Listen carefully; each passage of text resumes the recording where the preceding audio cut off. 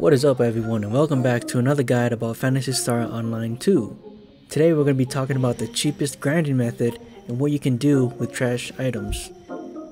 First we're going to be talking about trash items since it's quite straightforward. From 1 to 6, feed it to a mag for energy or don't pick it up. Selling these aren't worth it unless they have good augments on them. From 7 to 9, save them for desynthesis if you want to, but it's not really needed. From 10 stars to 11 stars, exchange these for X cubes. 15 star weapons exchanged via Zieg in future episodes will require 400 X cubes, so prioritize this. You can also trade 10 to 11 star units for photon spheres via the swap shop at a 5 to 1 ratio. Next up is 12 stars. Sell them on the market, then buy other 12 star gear that's the same type of gear you use to grind it into your current gear. This is because you get bonus XP if the weapon you're grinding is the same type. If you have an abundance of 12 stars, then feel free to directly grind it into your weapon. This is more expensive than selling it on the market and buying it, but it takes less time. Keep in mind you do need grinders as well as Meseta every time you grind a weapon, so you do need to do a cost analysis to actually see which one is cheaper. And luckily for you guys, I actually did it. When feeding 12 stars into 12 stars, the same type of item at plus 0 gives 200 XP. Any other type of item at plus 0 gives 140 XP.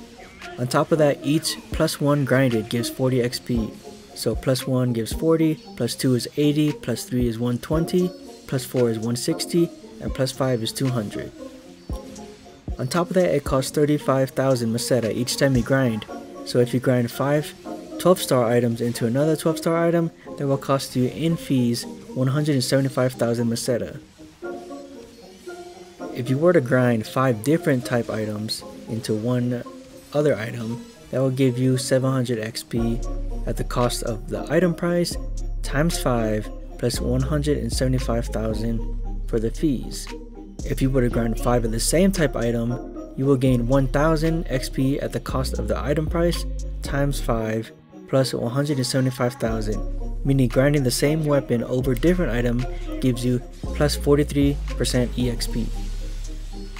So to simplify it, if the item price of the same type item is 43% less than a different type of item, it is worth it to buy the same type item. So the different type item times 1.43 is the maximum price you should pay for the same type item. So if the same type item is higher than that max price, do not buy it. If it's lower, then buy it. Now that's the simplified version, but we're going to go deeper into it so you can maximize your cost analysis. Now there's a lot before this, but I cut that out of the video in order to save you guys some confusion we need to compare the cost of the same XP gain. So since 5 different types gives you 700 and 5 same types gives you 1000 XP, then the common number we're going to be using is 1400 XP. In order to get 1400 XP, you need 10 different type items or 7 of the same type items. So let's use that as a calculation. So 10 different type items plus 10 times the fees equals 7 of the same type item plus 7 times the fees. So after you do that calculation, that gives you the price of when a different type item equals the same type item. So what does this mean? If you sell a different type item for the amount listed on the left, say 10,000 or 11,000 and so on, that will equal the price of the same type item on the right. So for example, if you sell a different type item for 10,000 net after taxes, then you buy a same type of item for 29,285, then you break even. If that same type of item is less than 29,285, then you'll be getting more EXP. After all this, it gets more complicated. We gotta go back to the beginning. Different type item gives you 140 EXP, and the same type of item gives you 200 EXP. But you're going to ask yourself, what if it rolled as a grinded plus 1, plus 2, plus 3, plus 4, or plus 5? Each plus 1 grinded on a weapon gives you 40 more EXP. So a different type item at plus 1 will give you 180, At plus 2, it will give you 220 EXP. Thus, at plus 2, different type item will be better than getting a same type item at plus 0.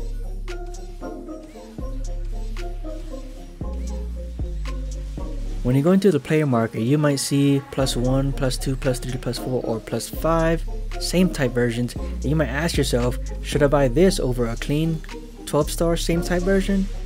Well, here is the answer. For same type weapon, at plus 1 it gives you 20% more EXP per grinded. So at plus 1 it gives you 20%, plus 2 is 40, plus 3 is 60, plus 4 is 80, and plus 5 gives you double EXP meaning buy it if the cost is 19% or less than a plus 0 same type weapon. If it's plus 2, that's 39% or less, a plus 3, 59% or less, plus 4 is 79% or less, and plus 5 is 99% or less. The formula changes dramatically when you introduce grinded gear, so to simplify it, just sell 12 star different gear unless it's plus 2 or above, in that case grind it into your gear. Then buy the same type of gear and if it's grinded, add 20% cost per grind to see if it's worth it. Yes, I know that it's not a 100% calculated cost with grinded, but it's a simplified version.